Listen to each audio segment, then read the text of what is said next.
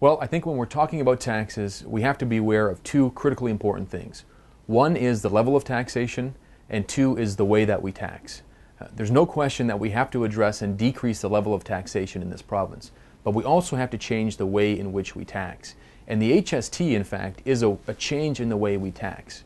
If you look at the old sales tax system in BC, it penalized businesses that went out and invested in machinery and equipment, in technologies, all things that make us more productive, all things that lead to higher wages for the average British Columbian.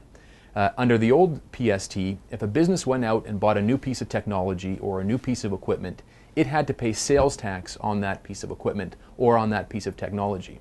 So, in other words, it increased the cost of businesses that invest in things that make us more productive as British Columbians. And that penalty is now being done away with with the HST.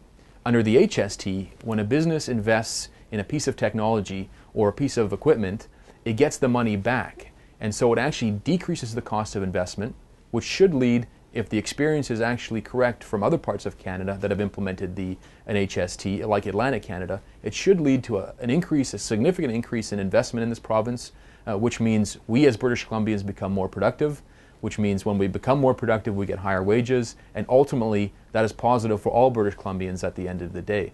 So the HST from a point of view of investment and a point of view of general prosperity is absolutely the right move for British Columbia.